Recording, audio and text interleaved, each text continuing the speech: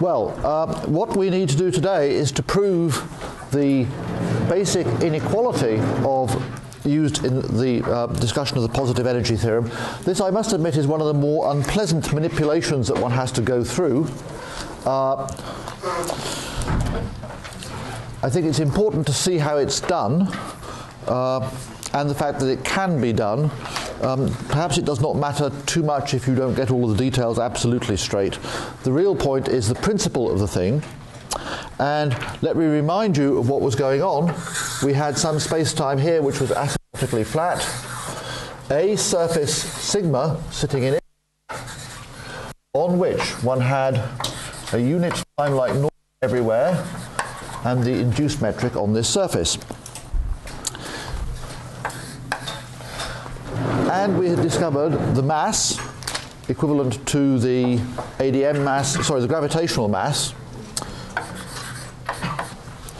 was equal to minus 1 over 8 pi integral of TAXB dsAB integrated over space-like infinity, a two-sphere sitting out there, where x was a vector field which lay entirely in the surface sigma.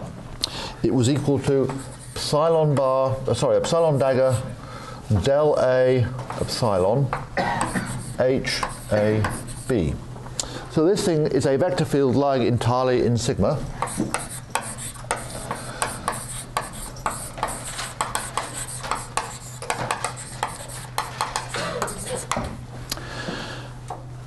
And epsilon obeyed the Witten equation.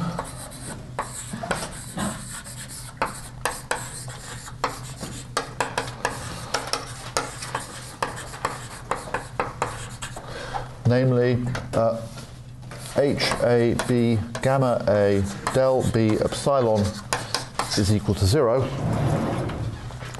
And our curved space Dirac matrices, these things here, are related, of course, to the flat space ones by gamma A equals E A mu gamma mu.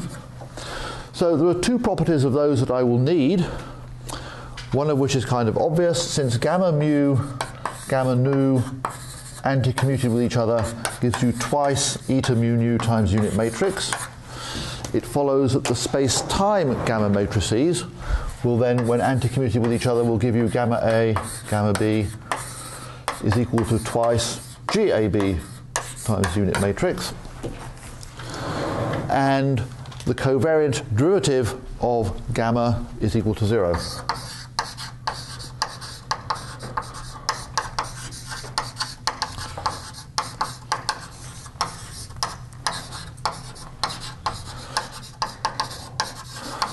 And I want to emphasize that's a choice, again, consistent with the fact that the covariant derivative of the metric and the Vierbeins are equal to zero.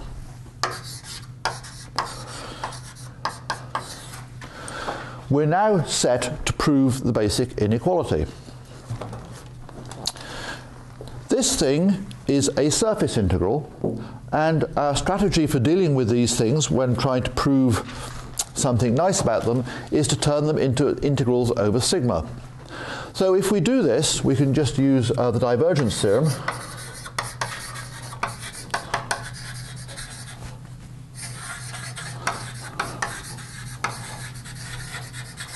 And you will get, from application of the divergence theorem to that, um, probably we want to take one further step before we do that. M is minus Remember that this thing is antisymmetric under the interchange of A and B, and it's easier to put in an antisymmetrization there before you start taking the divergence. That's so that you can guarantee that you've actually taken the divergence of the right thing. So the first step is to explicitly carry out this antisymmetrization.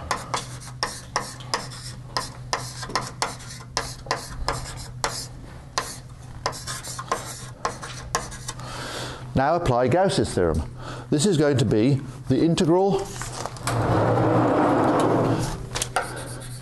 over the surface sigma of the divergence of this thing.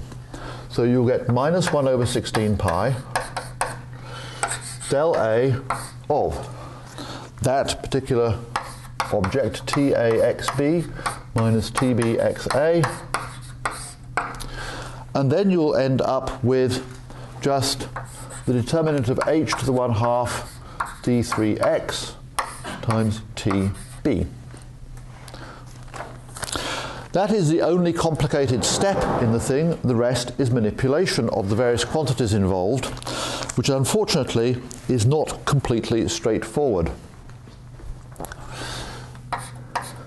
So the first thing to do is just to multiply out the covariant derivatives. We've got the covariant derivatives of four things here, so there are four terms that we have to look at. What you will discover is that the complications mushroom and then collapse dramatically at each stage. So the first thing you'll end up with here is del A TA times XB TB.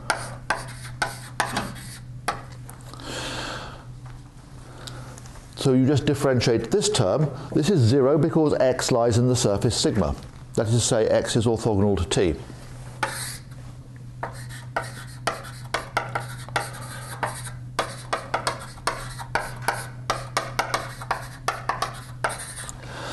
The second term here you get by looking at del A of xb. So you'll get plus TA tb del A of xb, of which there is no simplification. The third term you get del A tb tb xa, so that's minus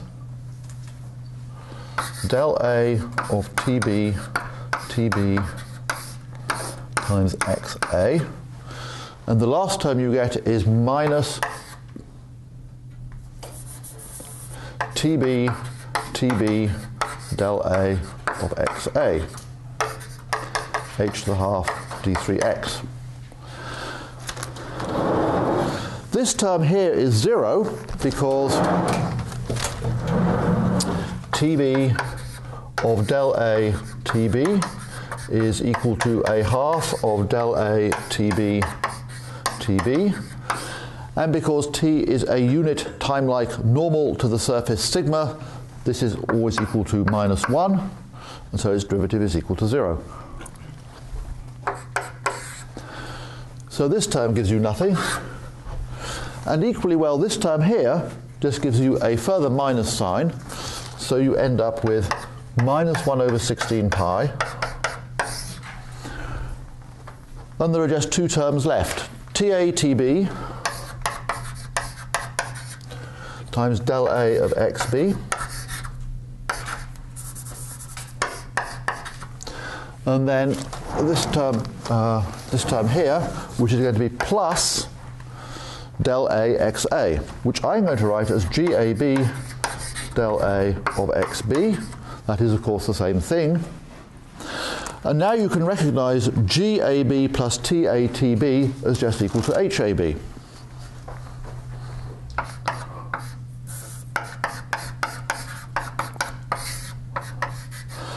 So the integral that you're interested in is just the covariant derivative, well, almost the divergence of x, but not quite. Integrated over that space-like hypersurface.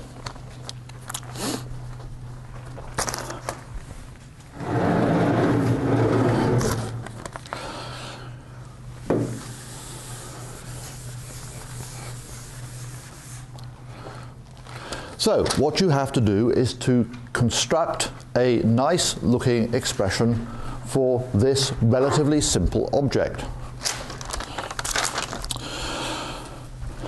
And recall the nature of x. It's given by that vector field sitting up there. There is no simple way of doing this, you just have to slog through it.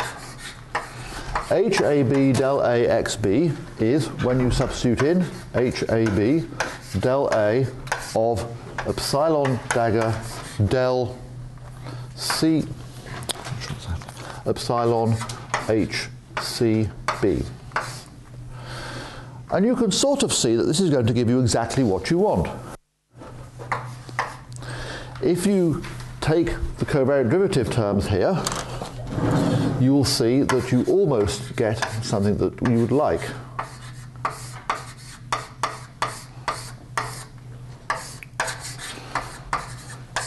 The first term is the covariant derivative of the Hermitian conjugate of epsilon times the covariant derivative of epsilon. Is a second HAB epsilon dagger del A del C epsilon HCB. And then there's lastly a term which is involving the derivative of the uh, induced metric. Is it right?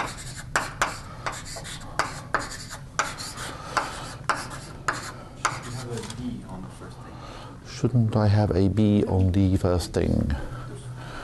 H, A, B, H, B, C. I should probably have a C here. Well, I'll do, I'll do it in two steps.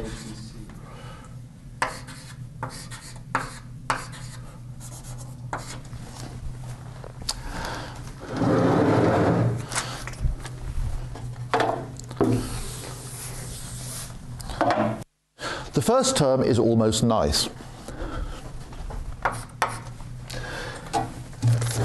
Since H is a projection, HAB, HBC is the same as HAC. So this is HAC del A of epsilon dagger, del C of epsilon. Uh, and the, sec the third, second and third terms are less easy to deal with. Um,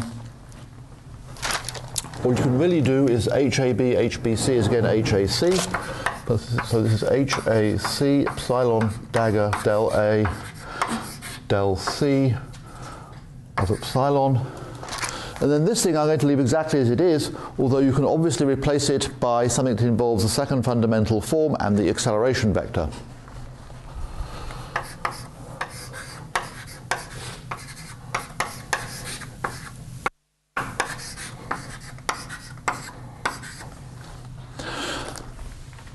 This thing is almost positive. The way to see this is just to think about what it means morally.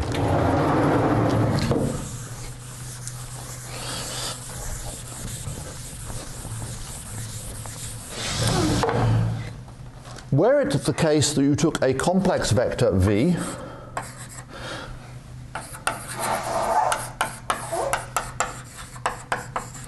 and you found HAB, VA, dagger, VB, you would, that would be positive. Or zero, and it would be zero if and only if V was zero.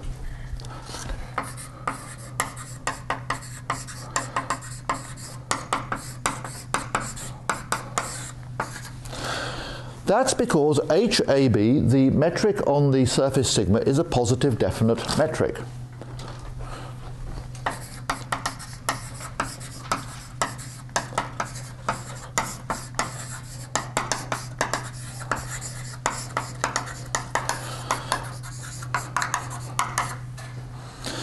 So you could, for example, take locally inertial coordinates or normal coordinates and say what this is really would be something like the sum of vi dagger vi. Sum from i is 1 to 3 in local coordinates.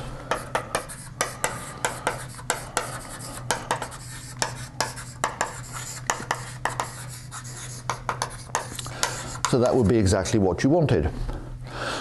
So were it exactly that, it would be positive definite. And that would be almost enough to prove that uh, you had to have positive mass. There is a problem. The problem is that this dagger is sitting inside the covariant derivative and not outside it. And then you've got some extra junky terms here. This thing, which is horrible, and this thing, which is almost but not quite the square of the Witten operator. I have a question from, from the from last time, but where, where did we uh, come up with our complex structure to define our Hermitian hadron? Epsilon dagger is equal to epsilon transpose complex conjugated. Yeah, but to, to, to complex conjugate, we need to, we need to have a complex structure defined. Everywhere in space-time? No. Just on the tangent space at each point. So, I mean, if your epsilon was of the form epsilon plus i epsilon 2, etc.,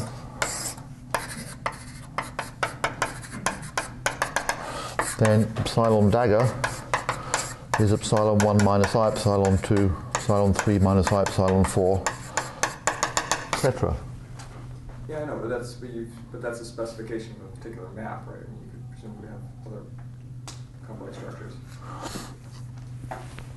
Never mind, it's, it's, That's what I mean.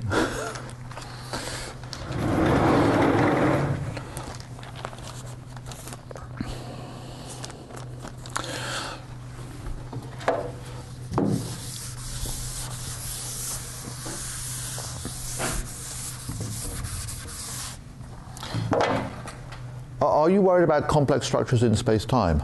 yes.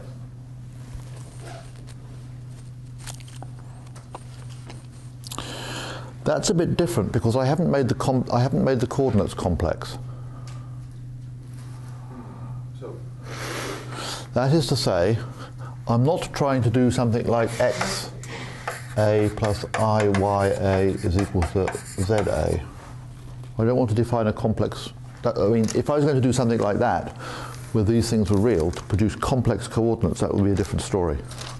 then how do we develop our epsilon, epsilons? We're not doing that implicitly. All I require is for this to exist at each point in space, time. So it's just a tangent space thing. Whereas this if I were going to talk about things being holomorphic and anti-holomorphic, it would be a global thing, and that would be more complicated.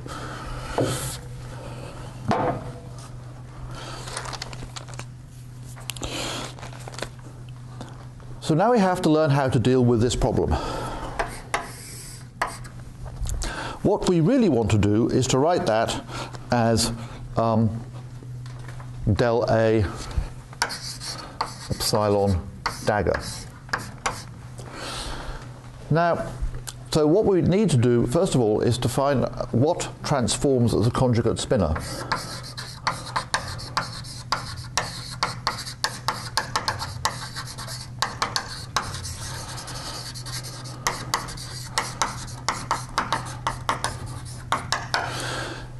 You know that if you were dealing with a flat space calculation, psi bar would be equal to Dirac conjugate psi dagger times gamma zero. So what you do in general relativity is just to replace this by psi bar is psi dagger gamma a ta, where ta is any unit time-like vector. So this thing is just the sort of covariant replacement of uh, gamma zero. There's a certain amount of arbitrariness in how you define it, but because we have a unit time-like normal everywhere to the surface sigma, this is a perfectly reasonable way of doing it. It will do the job for you.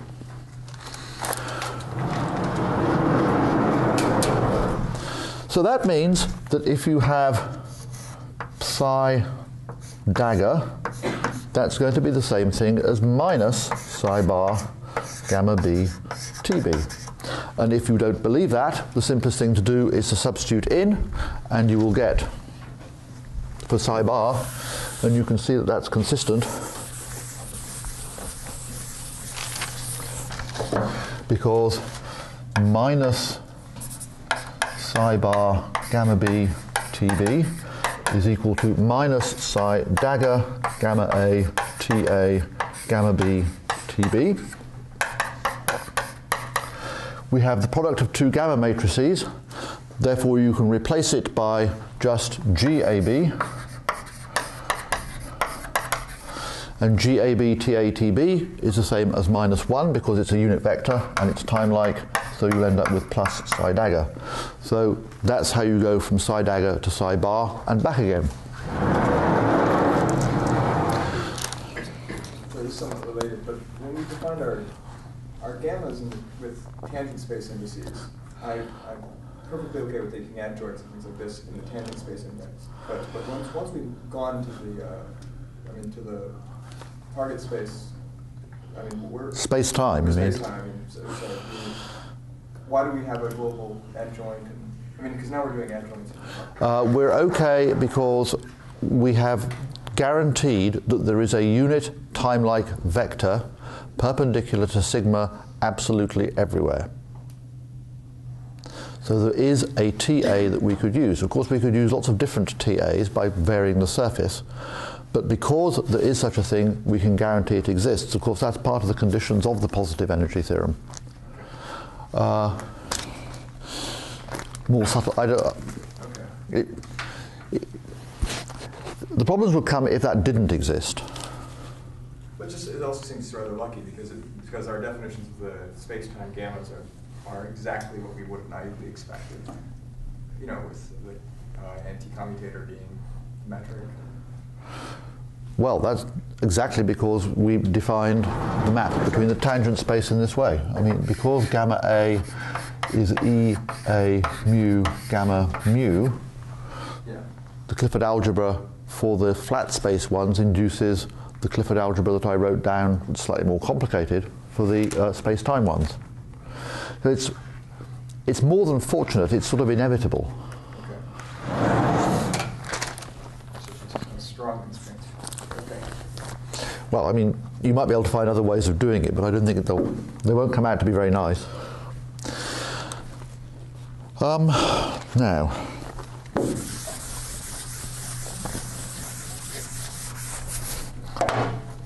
so given that, what do we mean by del A epsilon all dagger? That's the same thing as minus del A of epsilon barred gamma b TB. And because of the way in which we defined covariant derivatives, this has got to be the same thing as minus del A of epsilon bar. I don't wish to prove that. It will take us longer than we have. You can just take that as being a fundamental rule. But this is the same thing as minus del A of epsilon dagger gamma C T C gamma B T B. And so there will be a relationship between this and what we've actually got. So you have del A of epsilon dagger times gamma C T C gamma B T B which of course will give me a minus 1. And then there'll be a covariant derivative of the unit normal. That's going to give me a plus epsilon dagger gamma c del a t c times gamma b t b. So this thing is equal to del a of epsilon dagger plus a correction term.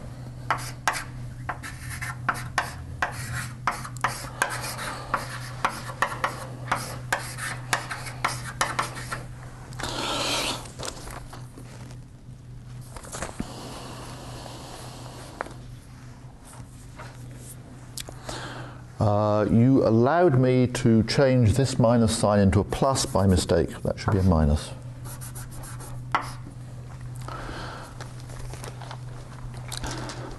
So, when we come up to this expression here, we have to assemble it to give us what we want, which is HAC, del A of epsilon all dagger, del C of epsilon,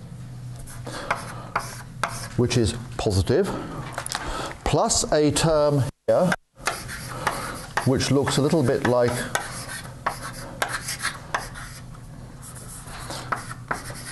the square of the Dirac operator or something of that kind. This correction term, which is horrible,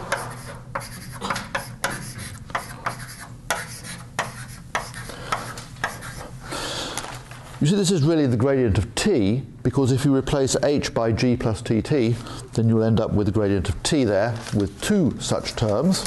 And then there's another gradient of t term from here. So you end up with, lastly, minus epsilon dagger gamma c del a of tc times gamma b tb.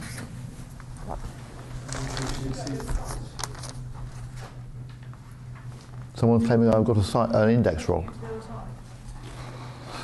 Epsilon dagger. Absolutely right. You say I've got a sign wrong. HAC as well. Oh, I see what I've done wrong.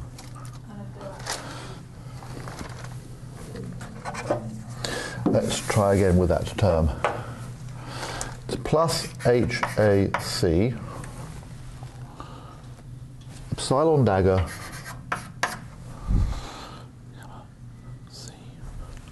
uh, I better call it gamma D del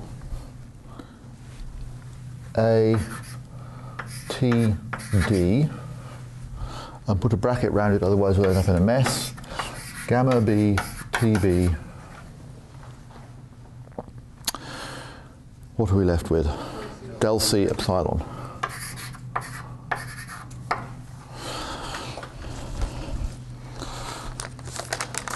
Okay.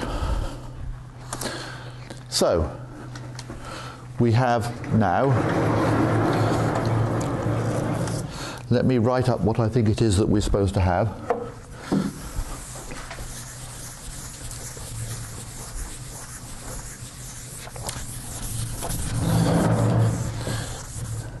Must say that the, the, the opportunity for error in this formula is quite amazingly large. m is equal to 1 over 16 pi. It's the one thing which teaches you to do careful calculations, actually. Integral over sigma. Hmm? No, no minus. I'm going to summarize where we've got to. And there is no minus sign in this. So that's the uh, squared, the thing which we know to be positive. Then there is a term which we're going to have to look at carefully, which is more or less that thing. And then there are two terms which I'd like to disappear.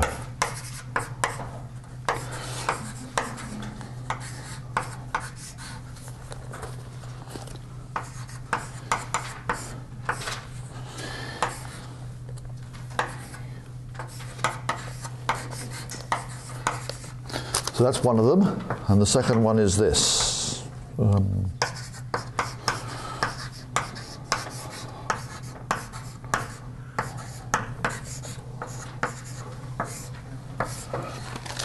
so we need to look carefully at this term now.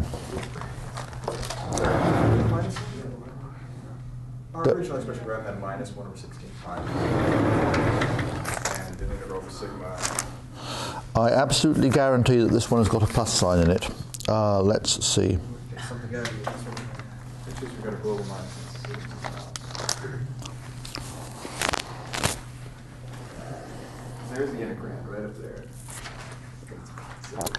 Uh, for those who wish to challenge my signs,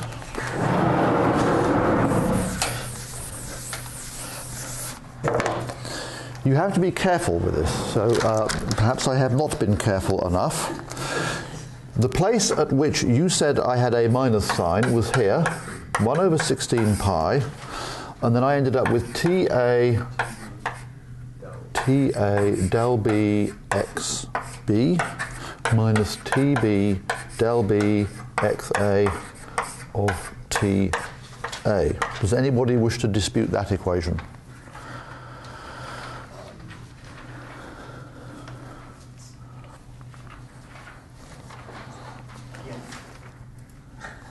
Yes? That's minus what you wrote down, I think. Is it? Yeah, where is that? It was never written down. Is that?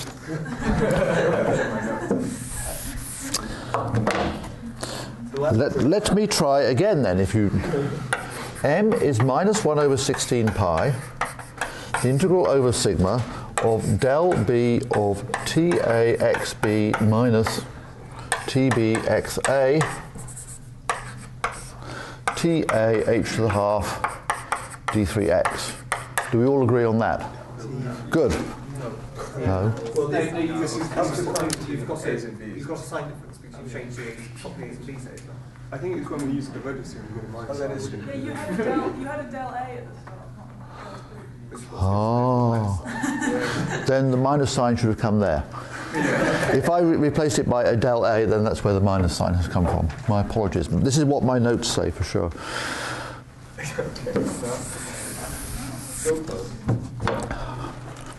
So. This is what you're supposed to have. The important thing is to keep sight of what it is you're trying to prove. I'm tempted to make a joke about a negative energy theorem, but uh, let's not do that. So, what we know is that epsilon obeys the Witten equation.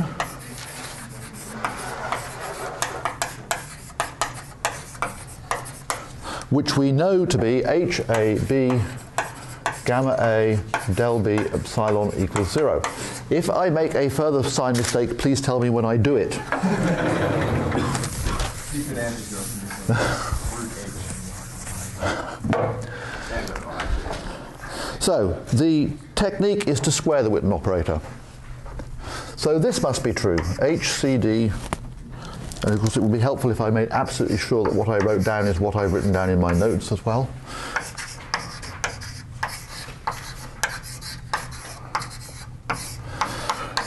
So we know that to be true.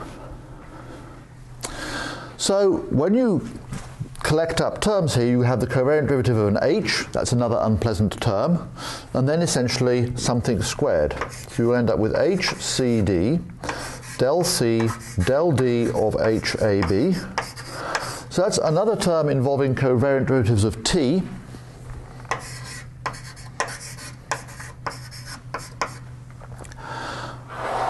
And then there will be second derivatives of epsilon.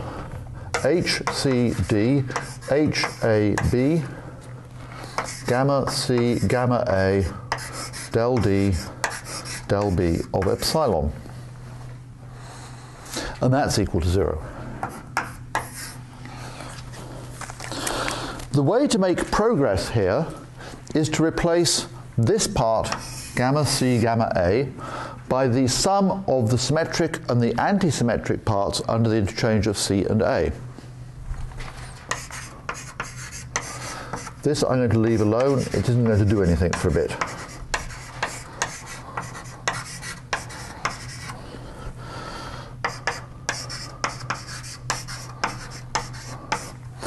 Bit that's symmetric under the interchange of C and A is just the metric tensor. So that's G, C, A. The bit that's antisymmetric, I can write as gamma CA, just the commutator of two gamma matrices. And then you have a del D, del B epsilon, and that's equal to zero.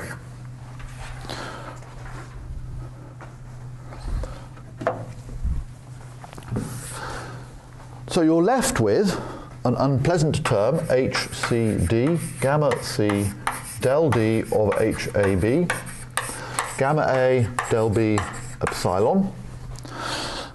Then we have a term here where C is contracted with A. Well, if C is contracted with A, that thing just turns into an HDB. Because it's a projection operator. So you end up with that term. That term, if you look at it carefully, is the same thing that appears here.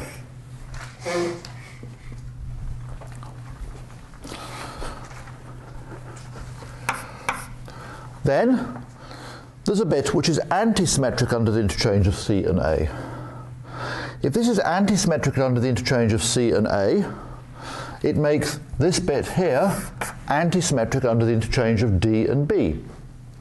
And that in turn means that you can replace this covariant derivative operator, the two of them, by their commutator. So this becomes HCD, HAB, gamma CA del D del B epsilon.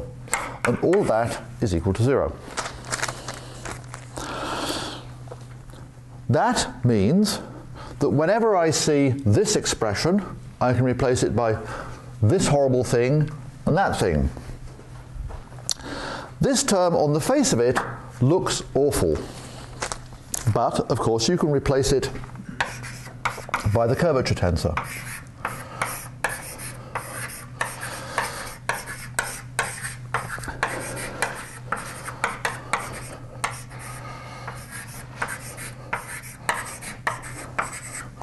So using the Ricci identity, you get plus one quarter HCD HAB gamma CA R D B E F. Let's write it up there. Gamma EF, gamma EF, epsilon, and that's equal to zero. So, what that means is that in this expression here, you can replace this term by another horrible term of this type and a term involving the curvature tensor. So let's summarize what you get as a result of doing that.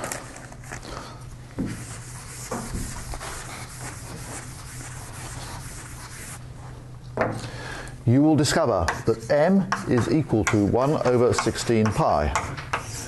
The integral of HAB del A of epsilon dagger del B of epsilon minus 1 quarter of epsilon dagger H C D H A B R D B E F gamma C A gamma E F epsilon. Together with three correction terms which are the second and sorry third and fourth ones there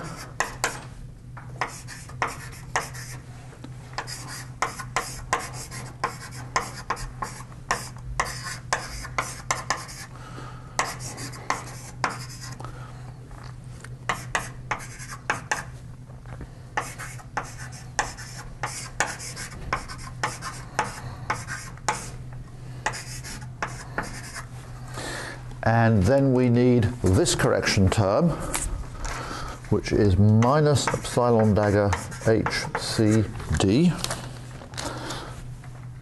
del D of HAB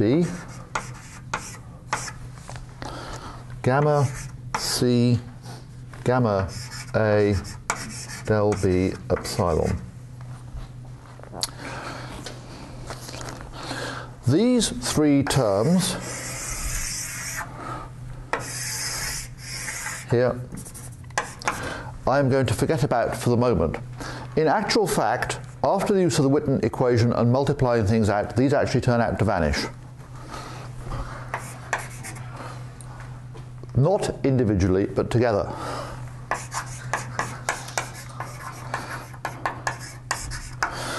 We will try to prove that, but what I want to do is to concentrate on this term here because this term is much more interesting. It is essentially the energy momentum tensor.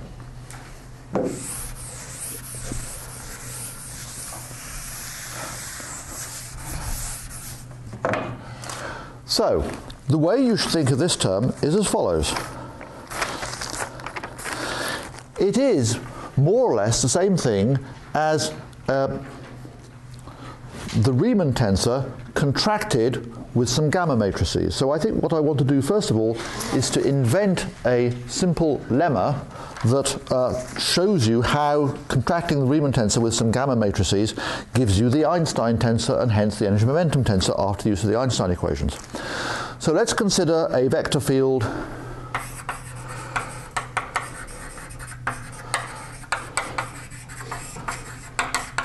which I will call ZD, and it's equal to R, D, A, E, F, gamma A, gamma E, gamma F.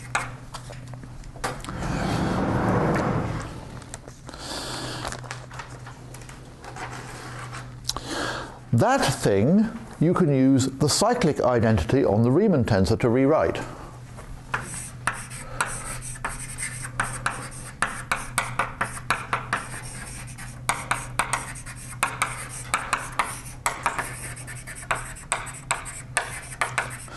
Thing looks like it ought to be extremely complicated, but in fact is extremely easy. So, using the cyclic identity, you can replace this Riemann tensor by minus RD, and then you'll have EFA plus RDFAE multiplied by gamma A, gamma E, gamma F.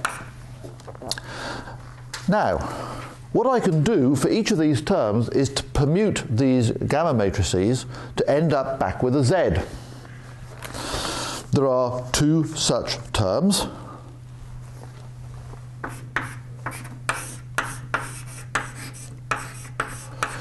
Let's look at the first one, RDEFA. To get gamma EFA, I've got to commute this gamma through this one and then through that one. So there are two sign changes. So you'll end up with gamma E, gamma F, gamma A. From commuting the A and the E, you will end up with plus 2 GAE gamma F. And for commuting the, now you, of course you'll have EAF, you need to commute the A and the F, you'll end up with minus 2 GAF gamma E. And then you can recognize this thing here as just being Z again. Then there is this term here, RDFAE. To get FAE, you have got to send this gamma matrix through these two gamma matrices here.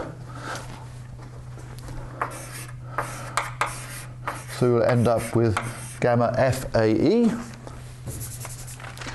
You want to commute these two, so I'll get a 2GEF times the gamma A.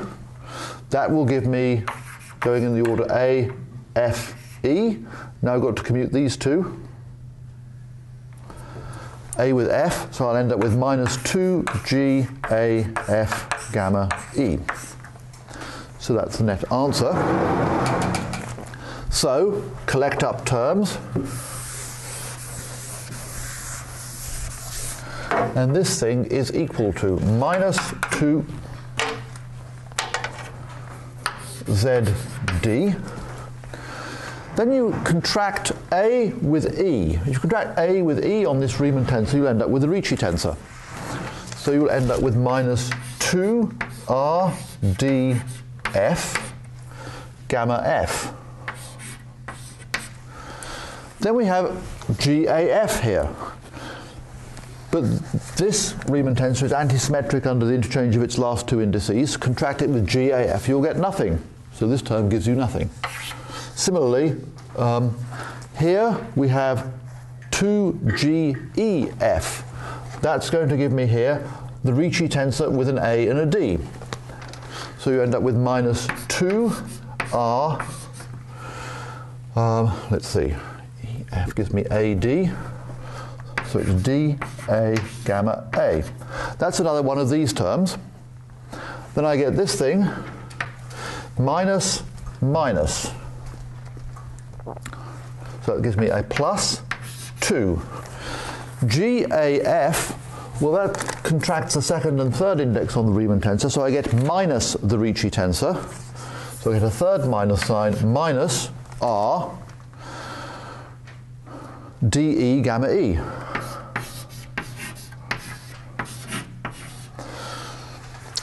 All of these things are the same. So that tells you that this combination ZD, where it gives you 3ZD, is equal to minus 6 RDE gamma E. So you've found that the thing that shows up here, a Riemann tensor contracted with three gammas is something really rather simple involving the Ricci tensor.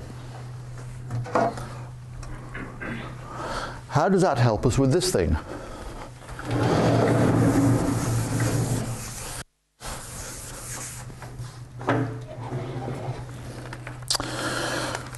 Well, we have Z is equal to minus 2r dE gamma e. Let's do one further calculation here. Let's multiply this by gamma d, we will need that shortly. That thing, that's the same as minus 2r dE gamma e gamma d. You can replace this by the anti-commutator.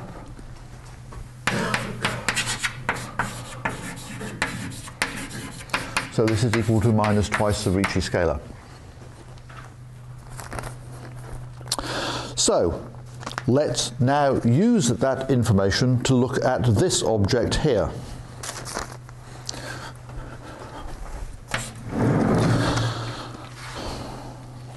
We have HCD, HAB, RDB, EF, gamma, CA, gamma EF. That's the thing that we would like to simplify. This is the same thing as from the definition of H, GCD plus TCTD, gamma, sorry, GAB plus TTB, R, D, B, E, F. Now we want to be a bit careful about this. This is antisymmetric under the interchange of C and A. Here, this is antisymmetric under the interchange of D and B. So when you end up with HCD, HAB, you could replace that by the antisymmetric part here and it won't make any difference. So this bit, you can do, since this is antisymmetric, you can do away with the fact that you have got antisymmetrization there and replace it by gamma C, gamma A.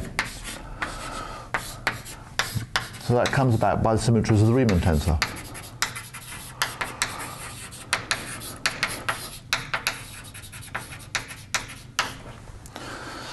Similarly, you can replace this by gamma E, gamma F, because this thing is antisymmetric under the interchange of E and F. So you end up with this.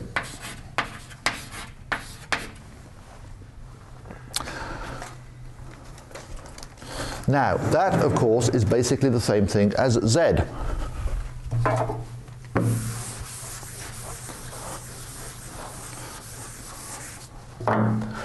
So, collect up terms again. We have GAB, GCD, RDBEF, gamma, gamma E, gamma F. Then the term involving TCTD, GAB.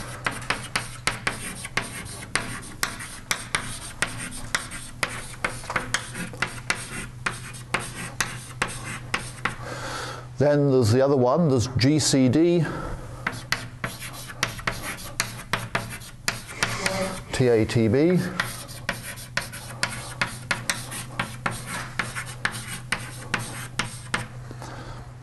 And lastly, there's a thing involving four T's, TA, TB, TC, TD. R, D, B, E, F, Gamma F. This last term is obviously zero because I have got TB, TD, RDB. This thing is anti-symmetric under the interchange of D and B. This is symmetric, so that term goes away. The first term is indeed nothing more or nothing less than our old friend Z.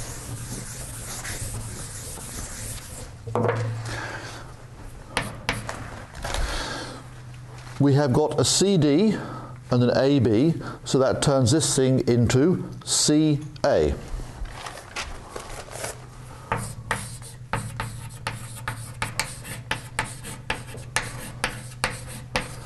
And we have just worked out that that's the same thing as the Ricci scalar. This term here GAB RDBEF turns this into an A, then that contracts with three of these gamma matrices, giving me plus TCTDR DAEF gamma A, gamma E, gamma F, and the third term gives me another one that's exactly the same. So, this object here are CAEF, gamma C, gamma A, gamma E, gamma F, is the same thing as ZD, gamma D, so this gives me minus twice the Ricci scalar. This term here, this is just ZD, so I end up with minus 4 Sorry? Gamma C. I'm missing a gamma C. Correct.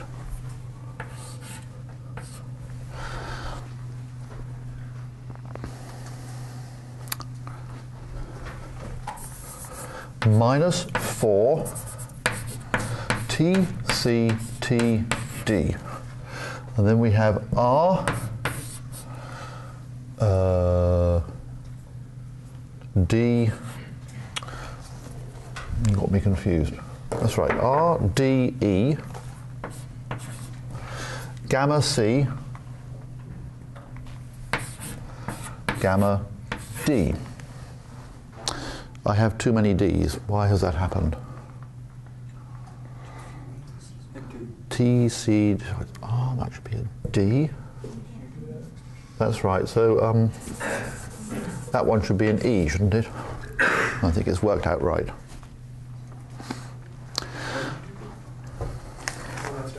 This is R contracted with three gamma matrices. So in that order, so the gamma C comes out the front. You get minus from the definition of ZD up there, minus 2, so I get minus 4R Ricci tensor contracted with a gamma matrix. So I think that is right.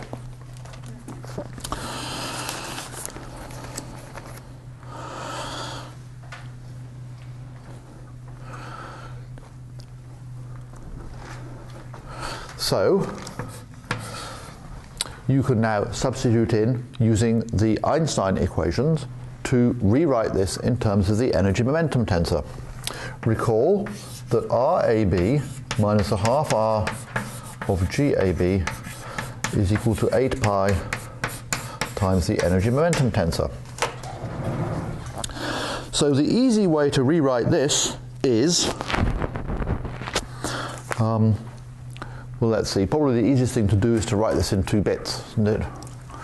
If you take the trace of this thing using the metric, you'll end up with r minus 4 over 2, so it's minus the Ricci scalar, is equal to 8 pi times the energy momentum, trace of the energy momentum tensor, so I can write it like that. Or alternatively, whenever I see RAB, I can write this as 8 pi TAB plus 1 half of RGAB, so that's minus 4 pi GAB times the trace of the energy momentum tensor and just substitute into that whole mess. I don't want to erase that.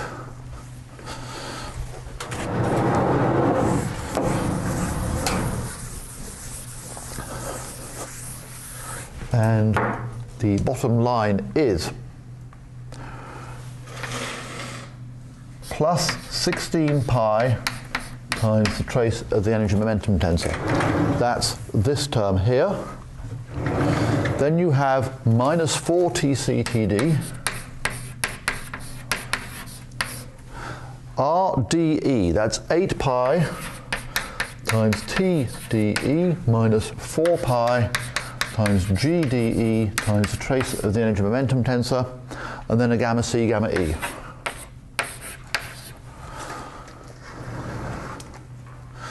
That's the same thing as 16 pi times trace of the energy momentum tensor minus 4 TC T 32 pi TC TD TDE gamma C gamma E. And then from here a plus 16 pi